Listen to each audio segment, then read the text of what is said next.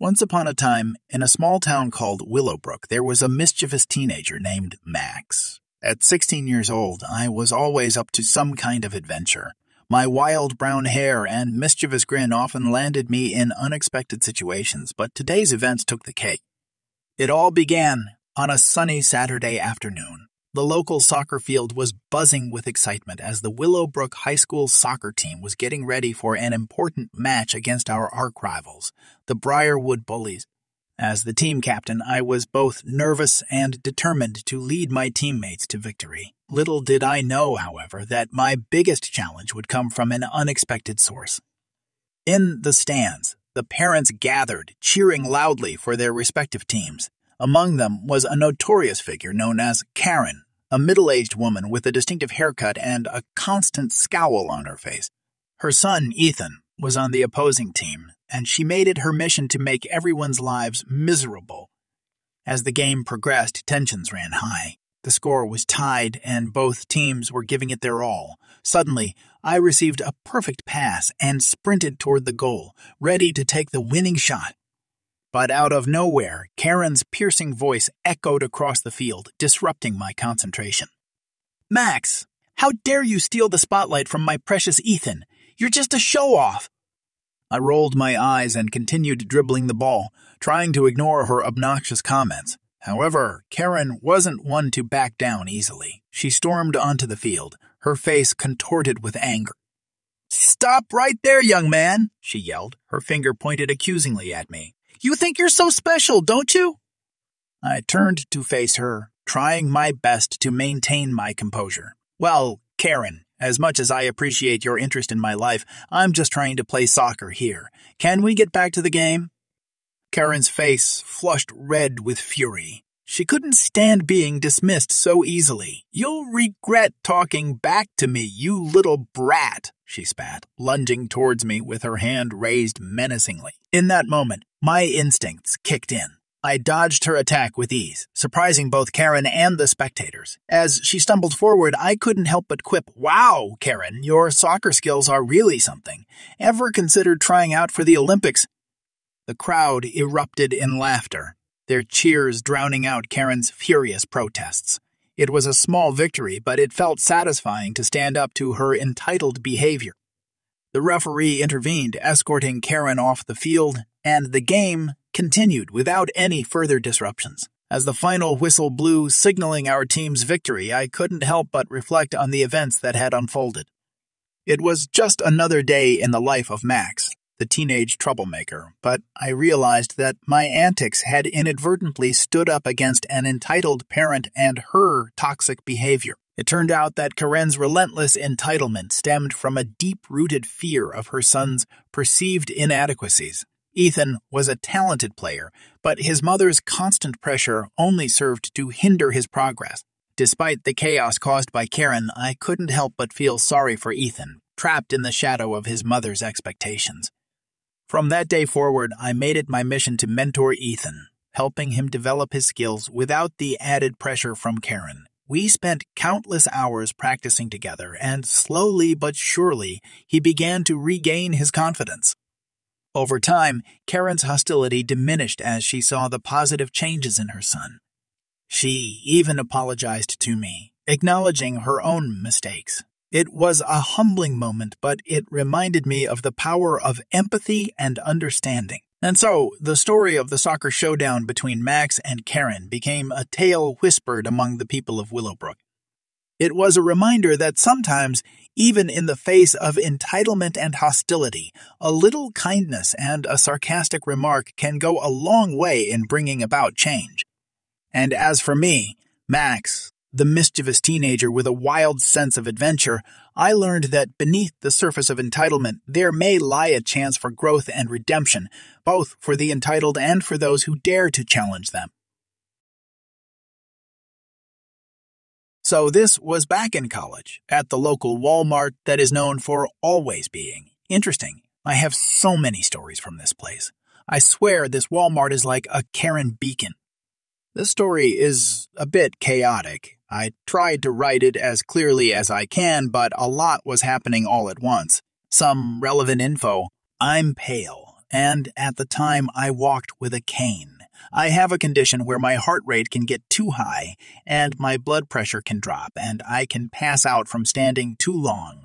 Usually, but anxiety can bring on episodes too. I wear a headscarf on holidays and special occasions. Now, there are many types and styles of headscarves. On this day, I was wearing it in a style where it completely covered my head and then draped around my neck and was secured with pins. I use dressmaking pins. They're not very visible in the scarf, but they do not have anything covering their pointy ends. I make sure I place them so they will hold the fabric in place and not stick me.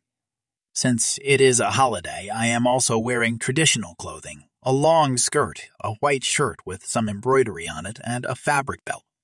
So I'm going around Walmart picking up a few things. My backpack is in the front of the cart, so I don't have extra weight on me. I'm standing at one of those aisle ends. I was trying to find something and had to look up where it was on my phone. Out of nowhere, my headscarf is ripped off of my head as someone behind me yells terrorist witch.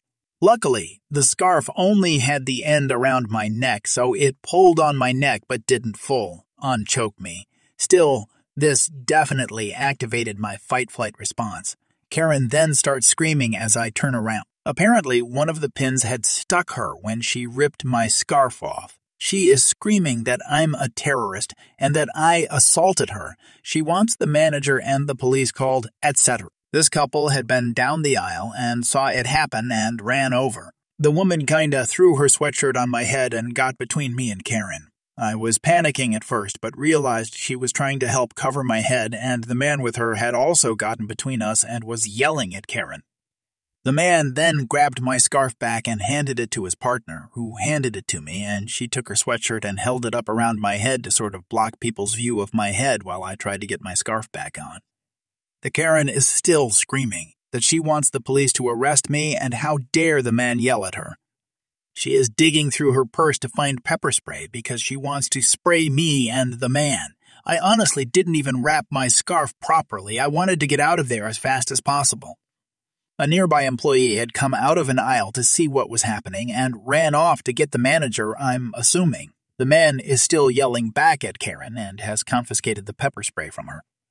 Karen is screaming that I'm a traitor to my own race, along with her earlier insults, and is demanding that the man pin me to the floor so she can pepper spray me and do a citizen's arrest and keep me there until the police and FBI arrive. So at this point, I'm shaking and crying. My heart rate is extremely high, and I know I need to leave or I'm going to pass out. The nice woman asked if I wanted to leave. I nodded. She grabbed my backpack and the arm that I'm not holding the cane in, and she quickly walked me down the aisle and out of the store. We just left my cart where it was. She asked where my car was, and I tried explaining that I'm a college student and have to wait for the bus, but I'm coughing and trying to breathe, as my heart rate is well over 180 at this point. The woman sees this and explains that she is a nurse and I'm clearly not okay, and asks about my medical condition and what I need. I explained what it is and that I need to sit lay down because I'm gonna pass out. She offered me to sit in their van, which usually would obviously be a no, but we are standing in the middle of a parking lot and I'm about to pass out, and currently my brain is not getting very much oxygen. She opens this side door and I sit on the edge of the car and promptly faint. I wake up a few minutes later, and she's holding my wrist in one hand, checking my pulse and looking at her watch. I mumble something so she knows I'm awake, and she just keeps telling me it's okay, I'm doing fine. After I recover a bit, I sit up and realize the man is standing outside the car. I think he was trying to give me privacy. I asked for the Gatorade from my backpack and sip on that, helps with the fainting, while he explains what was going down. He says that the manager showed up with store security and he explained, over Karen's screaming, what happened and handed her pepper spray to the security guy and that the police had been called. I look over and sure enough, there's cop cars pulled to the front of the store. The man asked if I had been hurt, if I wanted to talk to the police. Honestly, I'm scared of cops and just wanted to go home, so I declined to talk to the police. The man then went back inside to talk to the police a bit more, and I tried to fix my scarf a little better. I had lost a few pins through all this, which was kind of annoying, so I couldn't wrap it how it was earlier.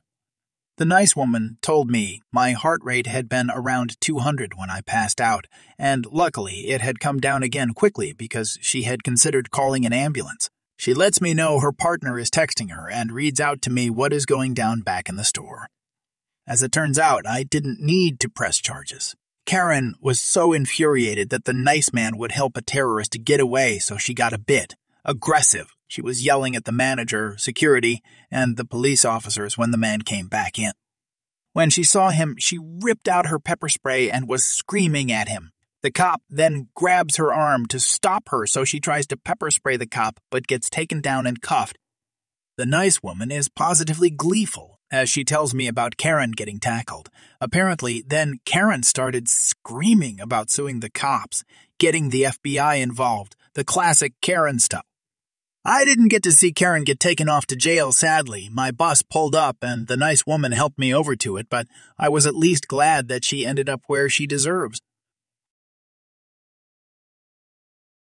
Once upon a time, in the My Peaceful Town, there was a young woman named Lily Thompson. At the tender age of 25, I had found my place in this cozy little town, working as a librarian and relishing the tranquility it offered. But little did I know that an encounter with an entitled parent would soon disrupt my serene existence. It all began on a sunny Saturday afternoon. I was strolling through the town park, enjoying the gentle breeze on my face, when, out of the blue, a high pitched shriek pierced the air. I turned around to see a commotion near the playground. Curiosity getting the better of me, I hurried over to investigate. As I approached, I spotted a red faced woman with a belligerent expression. She was berating a young boy named Timmy, who couldn't have been more than six years old. The woman, later revealed to be Karen, a fitting name for her kind, was undoubtedly the epitome of an entitled parent. Timmy, you better get up and let my precious angel have a turn on the swing. How dare you hog it for so long? Karen bellowed, her voice dripping with indignation. But I've only been here for a few minutes, ma'am, Timmy replied, his voice trembling. Unwilling to let such an injustice unfold before my eyes, I decided to intervene. Excuse me, ma'am, but I believe Timmy has every right to enjoy his turn on the swing. It's only fair. Karen whipped around, her eyes narrowing at me. And who do you think you are, young lady? interfering in matters that don't concern you? I smirked, bracing myself for the battle of wits that was about to ensue.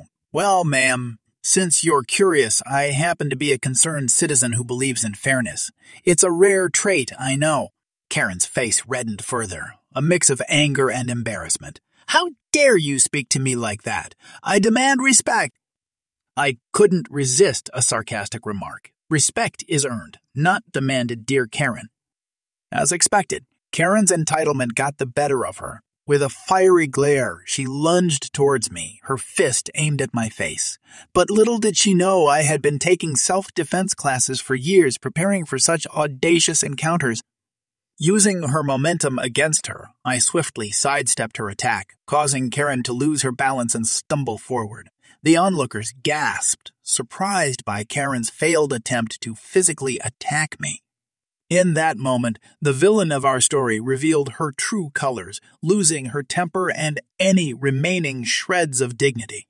With a mixture of rage and humiliation, Karen screeched, You will pay for this, you insolent brat! I couldn't help but chuckle, relishing in the irony of her words. Oh, dear Karen, it seems you're the one who needs a lesson in manners. Amid the chaos, a kind hearted bystander had called the police, who arrived just in time to defuse the situation.